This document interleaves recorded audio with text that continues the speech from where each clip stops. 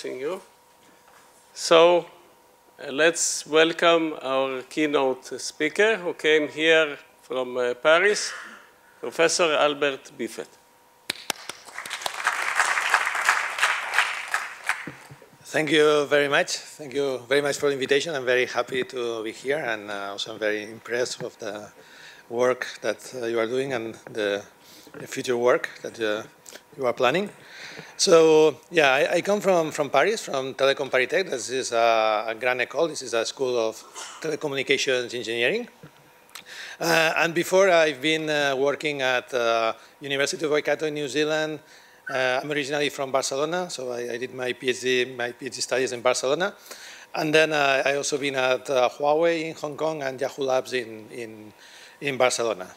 So I, I'm going also, during this talk, I'm going to try to motivate why uh, machine learning for data streams, I think it's important and why this is something that can be helpful uh, in the field of uh, data science and, and, machine learning. So, so basically I'm going to, to, uh, I'm going to start motivating it, so why this is important, and then I'm going to, to try to explain a little bit uh, some of the challenges that uh, data science, artificial intelligence have, and then how machine learning for data streams can be helpful for, for this. And also at the same time, I'm going to be explaining some of the open source projects that we have been working on and some of the research that we have been doing.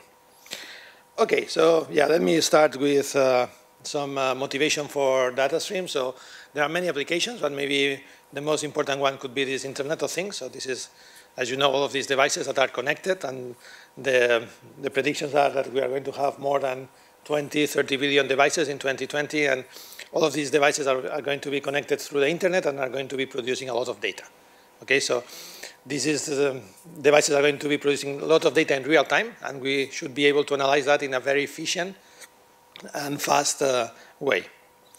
So as, uh, as you may know, there are so many applications. So uh, for example, in energy management, so we have all of these uh, smart meters. In France, uh, uh, EDF is, is, going to have a smart meter in, in, each one of the houses, and they, they, are going to send the information if they are connected in the internet uh, uh, every second. And the ones that are not connected every 10 seconds. So this is going to produce a lot of data, and how to analyze this is, is going to be really, really challenging. Of course, we have a smart home, smart home, so you know now with all these products of uh, Amazon, uh, Google, but yeah, also smart cities, all of these sensors that we have in the cities and how we can use them to, to produce uh, uh, better decisions to, to improve the, the, quality of life. And of course, uh, industry. So I think industry also is very, very important for IoT. So just uh, to mention this idea of Industry 4.0, so this is an idea of the German government, and the idea is that um, yeah, we have uh, we had four for industrial revolution. The first one was the one based on steam, the second one was the based in electricity, the third one was the one based on computation, and now we have this uh, fourth one that is based on, on interconnected uh, computation. So the idea for this Industry 4.0 is to have a virtual copy of everything that is happening inside a factory. So, and why? Because we want to improve how we make decisions. So most of these decisions are going to be automated, but most of them are going to be made by humans, but uh, with uh, much more data so the decisions are going to be uh, better. And just only to show that uh, Internet of Things is, is getting uh, uh popular. So in Google Trends, if we look at the popularity of uh, Internet of Objects and uh, big data, we see that in five years ago, in, in 2012, big data was really, really popular, but now we see that Internet of Things is getting much more, more popular. Okay, so and just uh, only to, to mention uh, why uh, machine learning is really, really important and is, is, I think it's also the starting point of this new revolution. So this is something that Andrew Ng say that uh, machine learning is like the new electricity and uh, we are really in, in the starting uh, phase of a new big, big revolution. So I think basically because machine learning allowed us to automate things in a much smarter way. So the idea of machine learning is that yeah, we can uh, have uh, uh, computers that can learn without being programmed. So it's, it's going to be change how we do computation. So before we need experts that they need to decide how to do the programming, but now we can uh, have these machine learning uh, algorithms that they can teach uh, themselves how to make things. So let me show you what's what this idea? So the idea is that in, in computer science we have really many, many applications where we are taking decisions, okay? And these decisions can be, I don't know, um, positive, negative, several labels. And then we need, uh, we have uh, input data, and then we build our programs that they need to make these decisions. Okay, so until uh, now, let's say that we were, were, using this imperative programming and we were writing the programs yeah, using these uh, whiles, these loops, and all of these structures. But uh, we really need to, to have some experts that uh, should uh, understand uh, how to make the, these programs. Now, the nice thing of this uh, machine learning is that some people, they call it now software 2.0, is that we can replace how we do the programming by these machine learning algorithms. So the machine learning algorithms, given the data, they will be able to how to make smart decisions, how to make decisions without uh, needing someone to make the program. So yeah, I think this is really important because that will allow us to automate many, many, many things. And yeah, and you can see that nowadays there are many people starting to talk about all of these uh, applications. So I think this is why machine learning is really, really important because this is the starting point of this new, new revolution. And also, yeah, in, at least in, in Europe, uh, we are talking a lot about uh, artificial intelligence. So instead of uh, uh, talking only on big data, data science, now the, the, the, the let's say the, hot topics are artificial intelligence. And basically, artificial intelligence is really, really hot right now uh, due to machine learning. Basically, because machine learning in the last uh, five years has made a big advancement for two things. One is uh, due to the quantity of data that we have. That's, that's really something that we didn't have before and also of the uh, computational power that we have. So this is something that we didn't have before. So having the large quantity of data and this uh, large computational power, now we can be able to do things that before were not possible. So I think this is uh, the main reason why now artificial intelligence and machine learning is really, really becoming a, a hot topic. Okay, so talking about this artificial intelligence, so we have also um, this idea of artificial intelligence systems that are more complex than the, the standard machine learning uh, methodologies. So yeah, this uh, like this, this uh, definition of Nikola Kasabov that says that these artificial intelligence systems should be systems with uh, that can uh, uh, accommodate new problem solving rules incrementally. They should adapt online and in real time. They should be able to analyze themselves. They should learn with huge quantity of data, big data, and also they should have this uh, short and long-term memory to forget things. So for this, for building these uh, systems, uh, data streams are really, really uh, uh, powerful and really suitable for this.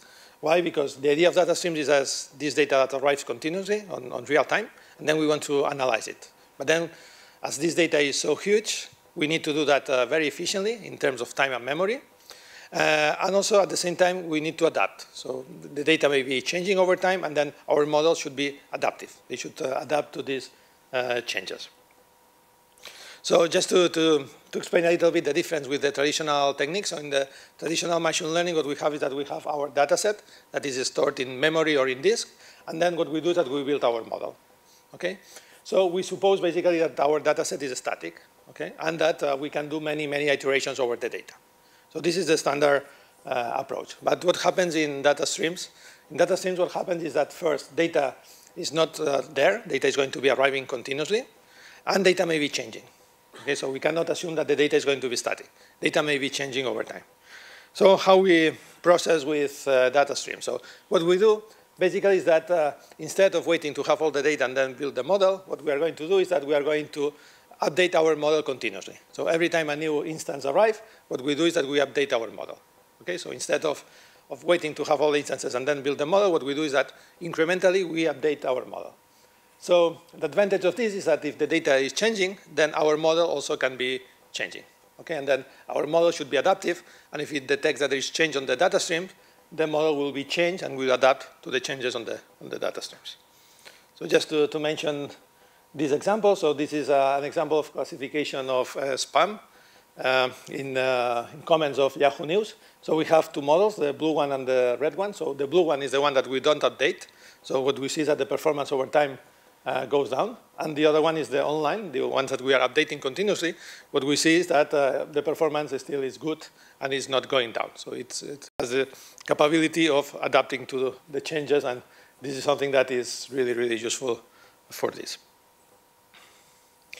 Okay, so that was the motivation. So now I, I would like to, to talk about some of the challenges of artificial intelligence and machine learning. And for this, I'm going to use this uh, report of uh, Cedric Villani. This is a, a French uh, Fields Medal that uh, this year has presented this uh, report uh, that is called From Meaningful Artificial Intelligence Towards a French and European Strategy. So the idea is, is was made by top researchers in France to propose what Europe should be doing in, in artificial intelligence in the sense that, uh, as you may know, uh, US, US United States and China are really, really good at artificial intelligence because basically they have a lot of data and this is uh, giving them a, a, huge, a huge advantage. So yeah, they, they have this uh, report where they explain a little bit what are the challenges of artificial intelligence and what are the things that uh, Europe uh, should do for, for this. So yeah, the first one was open open data science, okay, open AI. So what's the idea? The idea is that uh, we should be able to, um, everything that we do should be open in the sense of uh, uh, data. Data should be open so that uh, we can replicate experiments. We can, we should, uh, software should be open so that we can also replicate the, the experiments with this open source uh, software and then also publications and access to all the research that we have. So for this, yeah, I would like to, to start talking about MOA. So MOA is an open source software that uh, we developed at University of Waikato. It's the same group of uh, Weka. And it's a, a, software that is specific for data streams. So if Weka uh, keeps everything in, in, memory and can do many iterations over the data, MOA is not storing the data. It's uh, looking at the data only one time, only doing one pass, and then it's updating the model. Okay? So it's really, really different. So yeah, let me show you uh, a quick example of the. Yeah, so if uh, this is Weka, well, maybe it's a bit small. So the idea in Weka is that, yeah, we built, we open one data set. In this case, this is the uh, iris data set. So the iris data set is a, a data set that uh, we use to predict uh, which flower uh, we want to predict the iris setosa, iris versicolor, iris virginica. And then for doing this, we are going to use only the measures of the petals and the sepals, the length and the width. Okay, and then this is a, a very classical example. So the idea is that we take the, this data set, and then we classify, we decide what is the classifier that we're going to use. For example, I'm going to use a, a decision tree. And then I start, I run the, the experiment, and then at the, at the, at, the, end, I have one result, okay? So it means that, uh, yeah, we, we classify it correctly 96% of the times. So this is the standard way of uh, doing this machine learning. Uh, MOA, the other way you see, it's going to be running this on, on, on online. So here we are going to specify that we're going to run this experiment, and then instead of getting uh, one number, what we get here is a, a time series where it's saying us the performance, how it's evolving over time, okay? So yeah, this is the difference. In, in, the static setting, we only get one measure of the performance, but here we are getting a, a, time series that is giving us the performance of the model over time. So this is for classification, but for clustering. So yeah, imagine in, in the standard clustering, uh, what we have is that we have the points, and then what we do is that we decide what are the, the clusters, okay? And then also we do many iterations over the data and this. But what happens in streaming? In streaming, what happens is that data is going to be uh, evolving over time. So it means that, yeah, all of these clusters are going to be moving, they're going to be merging, splitting, they're going to be appearing, disappearing, okay? And we need to do this on real time. So this is much more challenging because as you can see, data is evolving, ch changing, and then our method should be adaptive to all of these changes. Also, you see the measures. Also, the measures are evolving over time. So let's say that uh, this is a, a, more challenging setting for this, no? because data may be changing, and also because we need to do that in a very efficient way in terms of time and, and memory. Okay. Okay, so that uh, this is um, MOA. This is a software that is in Java and is open source and is uh, available. And then they have many methods, classification, regression, clustering, frequent pattern mining, outlier detection.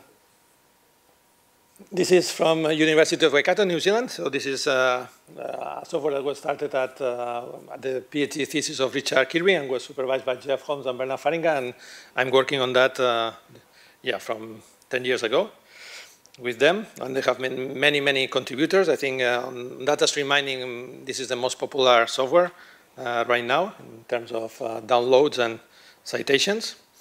And uh, yeah, I think uh, Weka has been very, very popular all of these years uh, because they have this, this book that was used in all, in all data science courses, that, this book on data mining, practical machine learning tools and, techniques. Um, yeah, and I don't know if you know New Zealand, but yeah, New Zealand is very famous for native birds, so birds that are only uh, from New Zealand. So the, the, the, New Zealand is an island, so these are birds that uh, they appear only there. And yeah, Weka is one bird, so this is the, the origin of the name. And uh, Moa was also a bird. The only thing is that uh, Moa is extinct uh, right now, so we cannot uh, yeah, we cannot see them, but uh, yeah. And the main difference is that it was really, really big. So if we compare the size of a moa with a weka, we see that the moa were really, really big uh, birds. So also with this idea of big data, no? Yeah, this is comparing with the size of a human, or yeah, just comparing with me. Okay, so in, in terms of evaluation, when we have uh, this stream setting, we have uh, mm, yeah, we have the restriction of time and memory. So uh, we, and we are going to be processing all of this data in real time, and we should be able to make predictions on real time uh, continuously, and at the same time uh, update the, the, models. So there are two types of evaluation. One is called uh, holdout, and the other is prequential. So holdout is when uh, we really have data for testing and data for training. So this is the most simple case. This is similar to the batch uh, setting.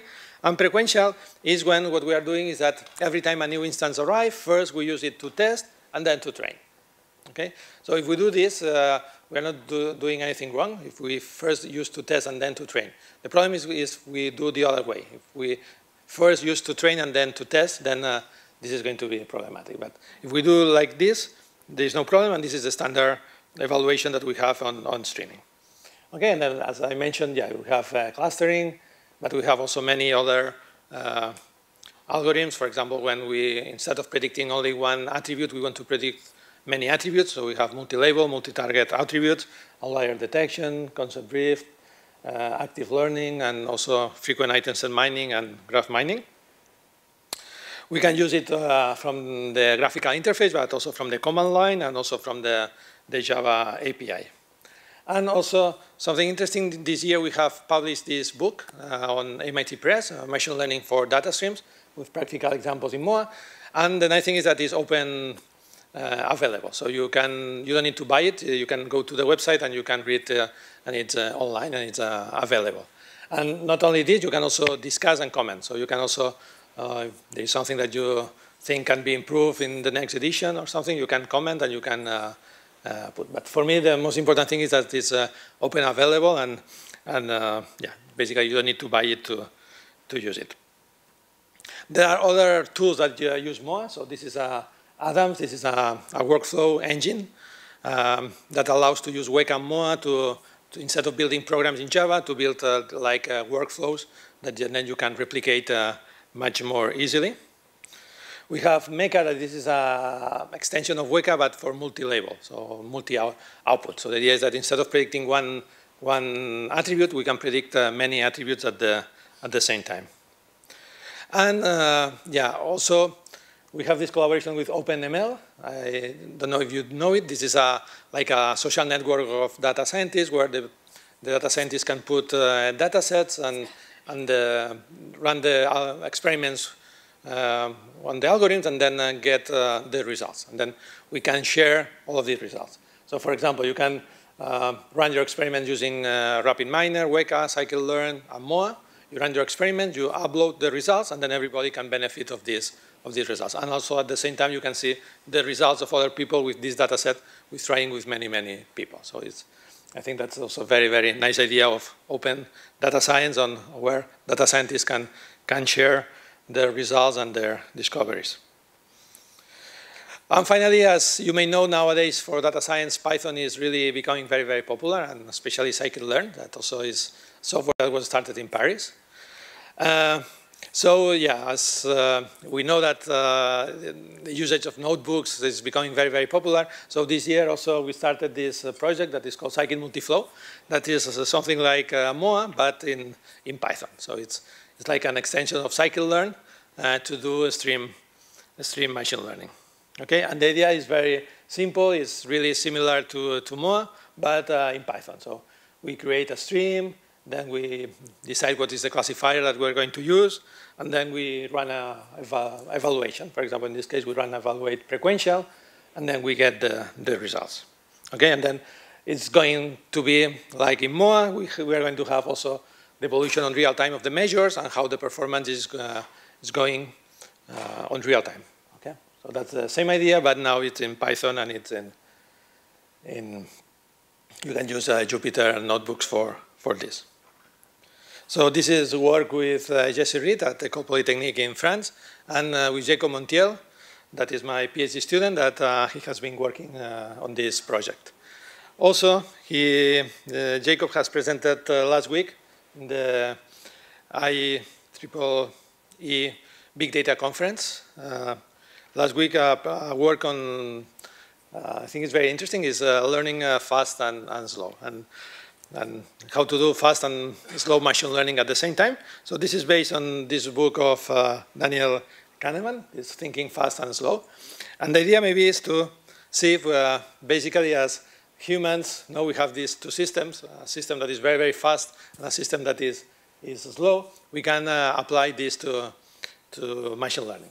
So as uh, you may know, we have these two systems. One is very, very fast, that it's very intuitive, so we don't, basically we don't think, we, we get the result. And the, the other one is the, the most uh, effortless, um, the one that requires more effort, that is the system two, that uh, requires to do slow thinking. So, for example, if I ask you 1 plus 2, you don't need to think, you, you know the result. But if I ask you 75 plus 26, then uh, you will need to, to think and, and uh, you will use this uh, system two. Okay, so the idea is that uh, there are uh, humans, we use these two systems, not one that is really, really fast, efficient, and another one that is much more slow. So the idea maybe is that, yeah, basically in machine learning we can have the same. It's not that streaming is the, the only right solution or the batch is the only right solution. Maybe the best solution is the combination of both. No? Maybe we need something that can be fast, that can be very, very efficient based on streaming, and maybe we can have something that is uh, slow, that requires more time. So this is a typical example, for example, is deep learning. In deep learning, basically we cannot have the, in streaming, we cannot uh, have a, very fast uh, deep, uh, uh deep learning techniques because uh, we need to do many, many iterations over the data, and this is going to consume a, a lot of time and energy. So maybe, um, yeah, a, a, good way could be to, to have a combination of, of both. Okay, this fast system that is uh, really, really fast, really accurate in terms of memory and time, and this slow system that uh, takes much more time. So yeah, this is uh, what we did in this uh, work. What we have is that we have these two systems, uh, fast and uh, slow. And then, yeah, we are going to use uh, which is the one that is performing the best to make the predictions of the new instances that they, they arrive. Okay? So in terms of what is happening is that the fast is able to predict and is training always. There's no difference. And the slow, of course, is going to take, it's going to collect instances and then train the model, and then after that, it's going to start to make uh, the predictions. So yeah, this is our, these two ways of working. And the interesting thing is that uh, combining both, then we can get the, the best of the both uh, uh, classifiers. So sometimes the fast classifier is going to be much efficient, especially at the beginning, no? So, but then sometimes the slow learner could be more accurate. And then in that case, uh, as we combine both, we can get the, the, the best of both worlds. So I think this is really interesting, and this is something that uh, I think it's very promising research uh, for the future. What is the best way to combine these fast and slow learners? Okay, another challenge that I think is important is this green uh, uh, artificial intelligence, green uh, machine learning.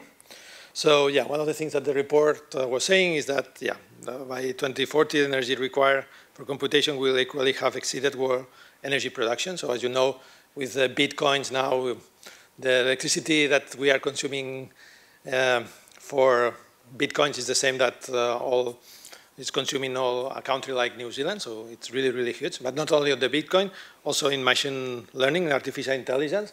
So if we look at the at the yeah the computation, the, the energy that we were consuming uh, in 2013 with the first uh, Alex uh, net, and we compare with the, right now with the last AlphaGo zero, we see that we had an increment of 300,000 times. Okay, so it's really, really, we are consuming much more energy than we were consuming before. No? So this is really, really huge. And yeah, maybe we need uh, more uh, methods that uh, should be greener, that should be really more efficient. And uh, I think the, the best uh, strategy is going to be using approximate methods, okay?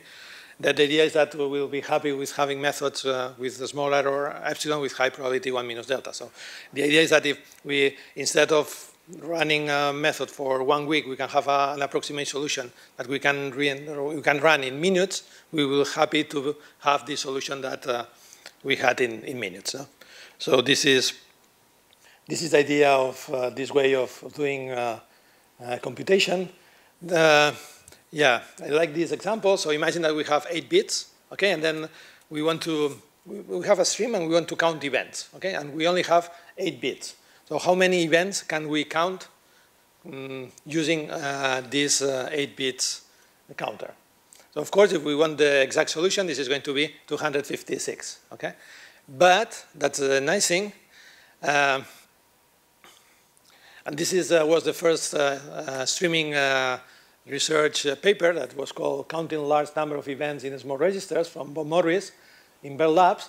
He was able, only using 8 bits, to store 130,000 events. Okay, only using 8 bits, 130,000 events. Okay, so this is, for me, it's a very nice example of, effici of efficiency, no? how we can, only using 8 bits, as count 130,000 events. So how he was doing this? So basically, instead of storing the, the number, he was storing the logarithm of the number. Okay, so that's the idea. The idea is that instead of storing the number, we should store the logarithmic of the number. And how he was doing it? So he was doing it very, very simple. So, uh, so it's the standard way. Every time we have an event, we add uh, one to uh, the counter. Uh, if we do that in a probabilistic way, what we are going to do is that we are going only to add one uh, with probability p. Okay, and if this probability p is a power of two, the negative power of 2, then what we are doing is that we are storing the logarithm of the number. Okay? So that's a, that's a, very clever trick, but yeah, all of these combinations of these ideas could uh, make uh, the algorithms much more uh, faster, efficient. Uh, of course, are going to be approximate. We are not going to have the exact solutions, but uh, we may reduce the, the energy that we are consuming. And streaming algorithms are based on these ideas. Okay, another important challenge uh, is explainable AI, especially uh, in Europe. So the idea is that, uh, yeah, we don't want to, to, to, be governed by black box algorithms.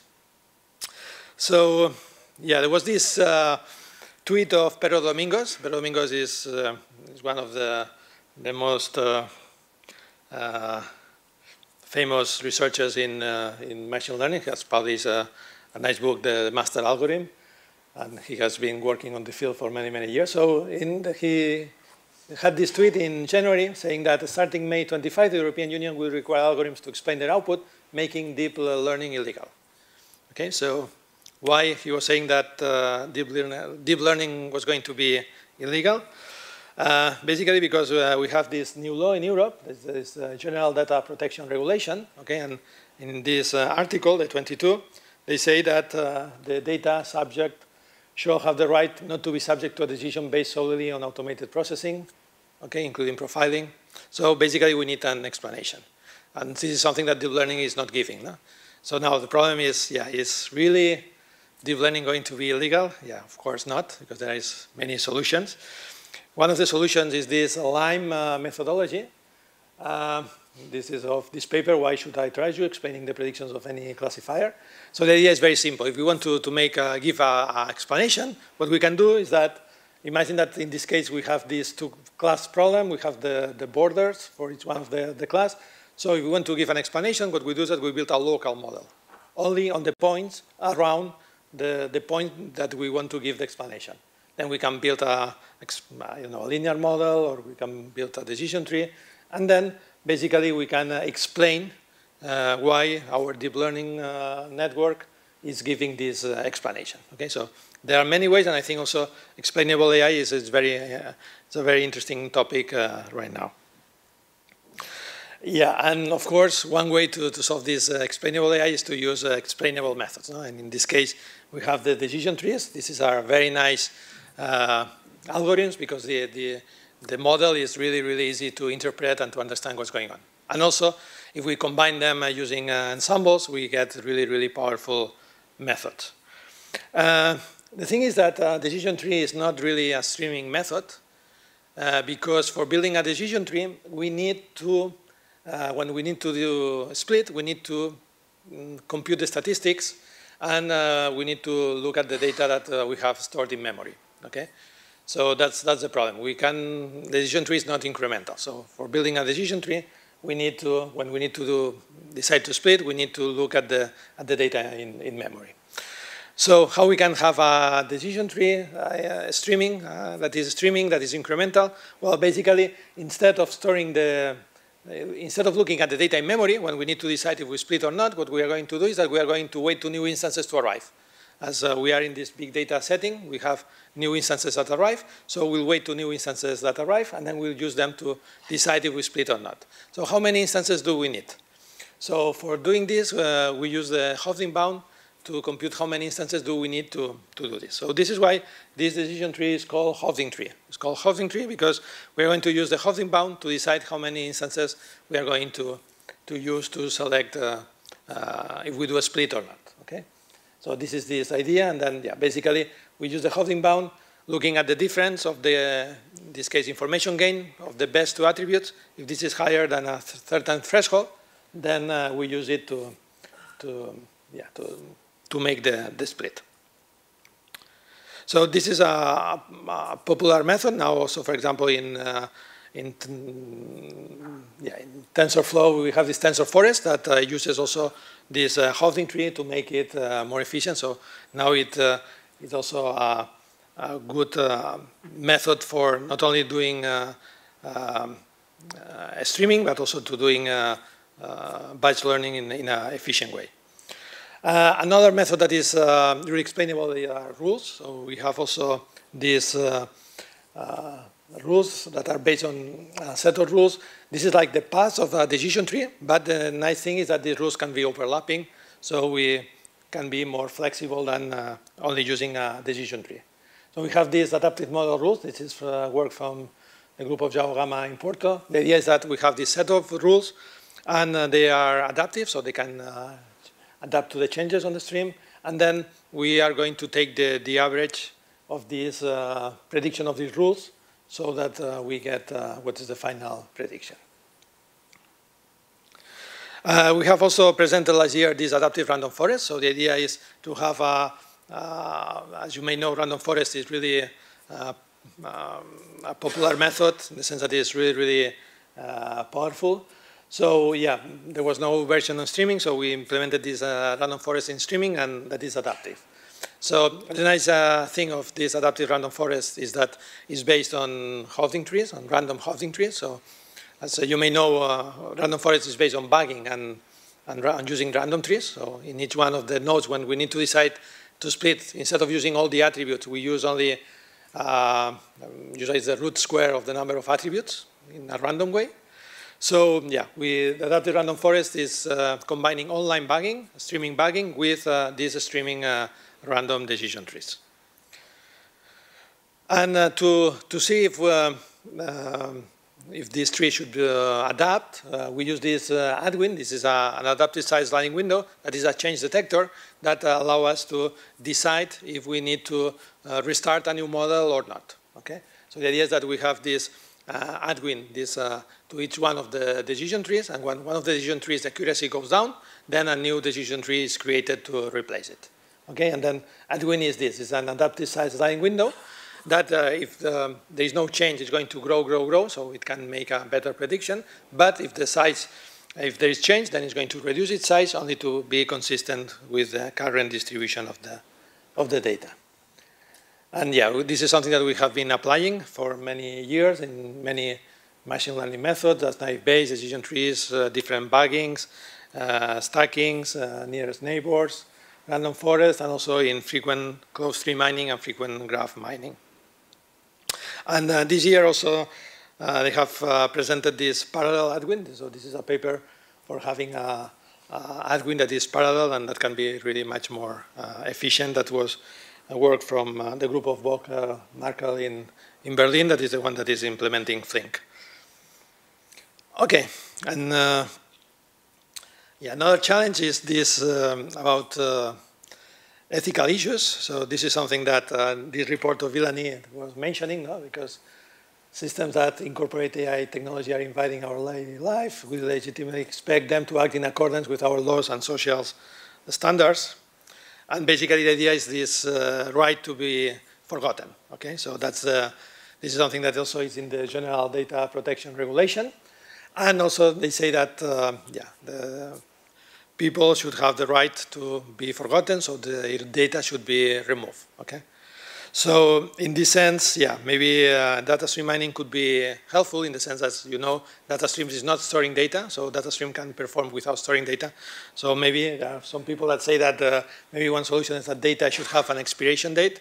So yeah, the data stream mining, machine learning for data streams can be also helpful for, for this. Okay, and now the last challenge is this uh, distributed uh, machine learning. So how we do this when uh, we really have big data, no? when we cannot uh, run this in, using only one computer, we need to run this in a cluster. So how we combine streaming and this uh, distributed uh, computation.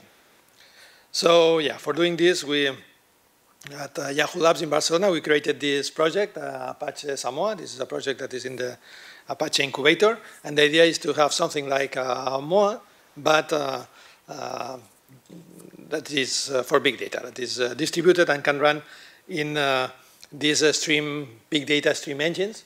In this case, yeah, we can think of Storm, basically, Flink, but also there is Samza, uh, Gearpump, uh, Apex. So all of these are stream engines that uh, they are really, really, they can process data uh, instance by one instance by one instance, and uh, in these uh, Hadoop clusters. So Samoa works that we write our um, classifier, clustering methods, frequent pattern mining methods using the Samoa API. And then after that, we can decide where we deploy it. We can de decide then if we want to deploy it on Flink or on Storm. So yeah, in this uh, uh, I think it's very flexible, and the idea is that uh, all of these, uh, Storm, Flink, uh, Samza, they are very, very similar. So uh, it was possible to create a high-level API so that we can uh, implement the methods uh, only once and then run in, in any of these platforms. So only to show you an example. So this is the vertical Hoeffding tree. So imagine that we want to distribute this streaming decision tree. So basically what we are going to do is that we're going to distribute it vertically so that means that uh, we're going to be distributing, instead of instances that this is horizontally, by attributes. And then we are going to have uh, our model, and then we are going to distribute all the statistics of the, of the nodes by attributes. Okay? So let, let me show you an example. So imagine this is an instance that's arrived, that goes to the model, then goes to one of the leaves. And then, yeah, if we look at the second attribute, the, we see that this is going to go to this uh, node. Okay, another instance arrive, is going to go to another node. Okay, and the information of the same attribute is always going to be in the same uh, node. Okay, so this is how this uh, distribution is, is done. Yeah, this is why it's called vertical Hoeffding tree. yeah, this is the people of uh, that we created Apache Samoa, Yahoo Labs, and these are the supporting organizations that have been supporting, especially Yahoo Labs, Huawei, and Telefonica. And also, uh, yes, you may know also with big data, maybe Spark is the most uh, popular project right now. So we, at Huawei in Noah's Ark Lab in Hong Kong, we decided to, to start a project that is called StreamDM. This is a project that is specific for Spark streaming, okay? This is made in Scala. All of these projects are open source, but this is made especially in Scala and especially for running uh, Spark streaming. The only difference is that Spark streaming works on batches. So when you want to do a query or when you want to process, you need to process 1,000 instances or instances of one second. So you cannot have uh, latency in milliseconds. The, the other Samoa works on, with latency of milliseconds, and this is going to be working on latency of seconds. But as I said, uh, uh, Spark is really, really maybe the most popular big data tool uh, right now. Okay, so yeah, just uh, to conclude, yeah, I, I, in this talk I, I wanted uh, to motivate a little bit why machine learning for data streams could be useful, uh, why it could be important in, in the future, and I talk about these uh, challenges, this open AI, green AI, explainable AI, these ethical issues, and this distributed data stream mining. Uh, if you are interested in the topic, yeah, I, uh, the, the book is open available, so you can read the book online. And also, yeah, this year we started this workshop on, uh, on efficient, uh, energy efficient data mining and knowledge discovery because we think also, yeah, this uh, how to do artificial intelligence data science in a green way is really, really an important topic and uh, it's going to be much more important in the, in the future. Okay, so thank you very much.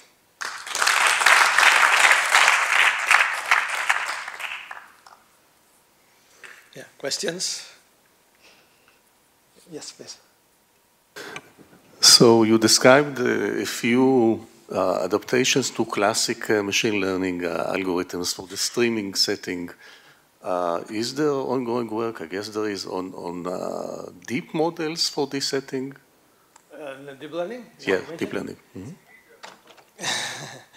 well, the problem with deep learning is that uh, um, I, I, you, you have the data and then you do many iterations, no? and that's, that's the problem. That uh, in streaming we should do that only in, in, in, one. So I think until now I haven't seen any, any work that uh, solves this because the day that we solve this, then uh, also we can reduce the time of building these uh, deep learning models. So I think this is really, really important.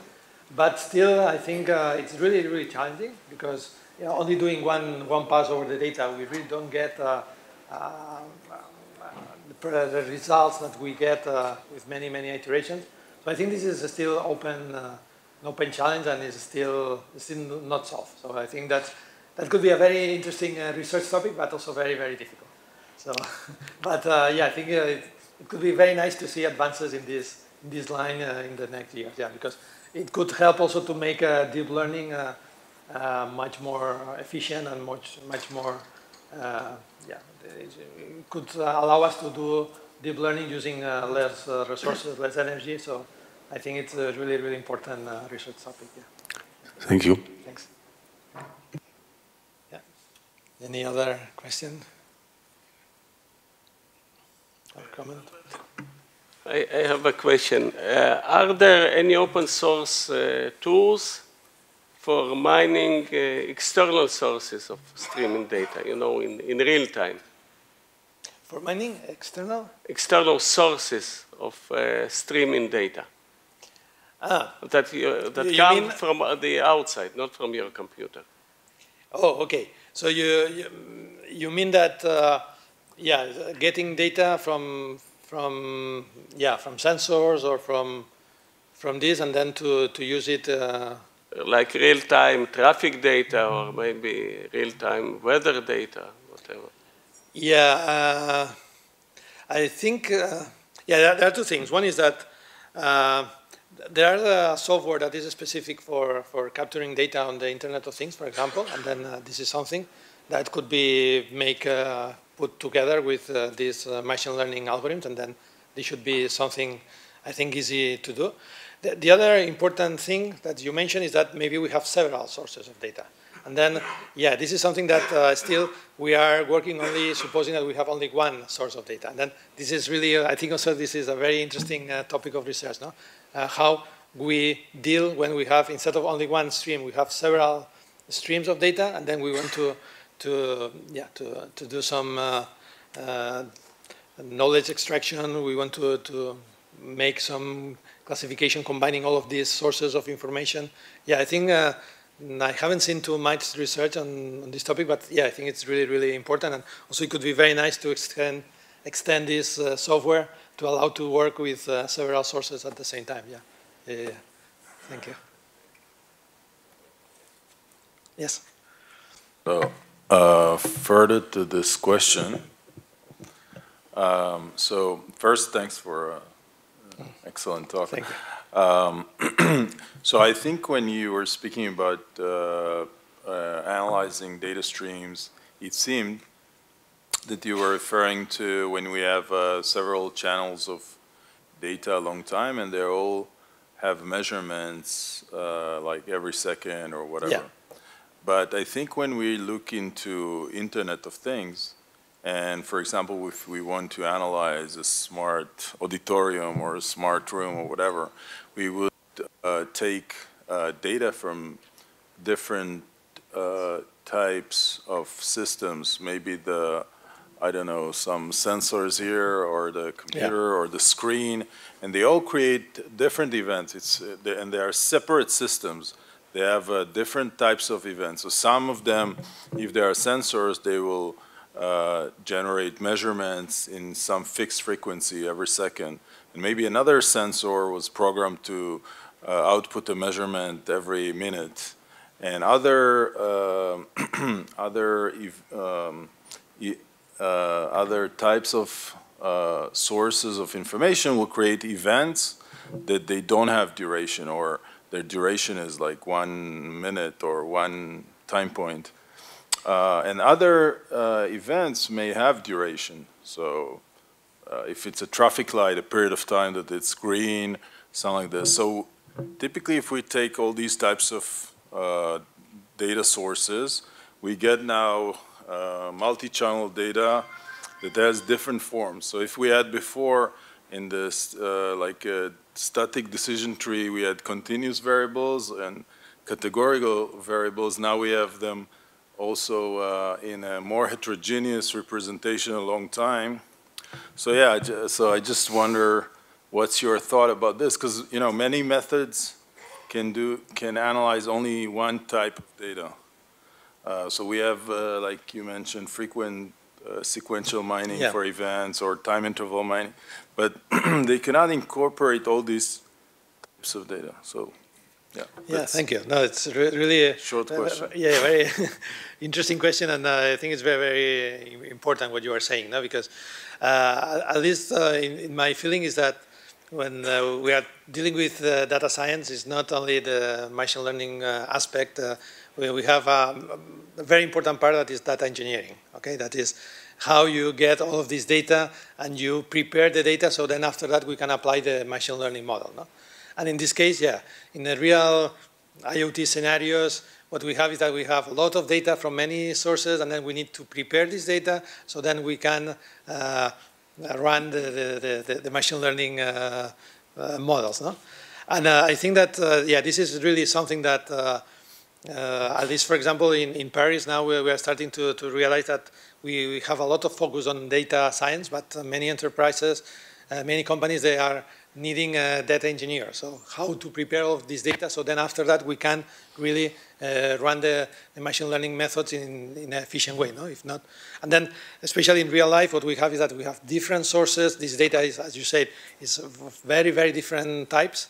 And then uh, how we uh, combine, how we merge especially you, you were mentioning events, no? There are all these uh, complex event processing systems. So to do this, yeah, we need to, to do a lot of data engineering to decide uh, how we structure these events and, then how we, we, we use this. No?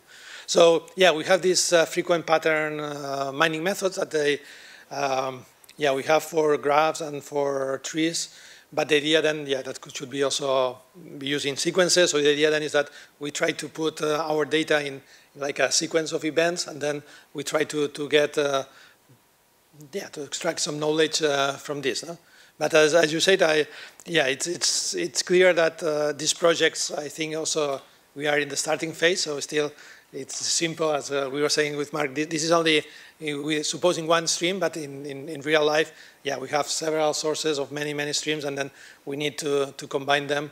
So, yeah, I, I completely agree that uh, this is something that, uh, yeah, as researchers, we should, uh, yeah, uh, work on this because it's, it's, it's more a realistic setting, and, and this is uh, the, the, main uh, mm, application challenges that we may have. Yeah, thank you. Yeah, any other question? Yes. About explainable AI, but from the legislation point of view. When the legislator asks AI to be explainable, it needs to be understood by whom? Because explanation can be diff at different levels.